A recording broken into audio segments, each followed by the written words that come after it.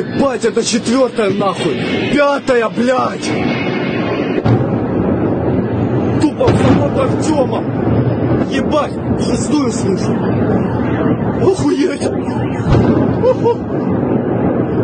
Пизда нахуй.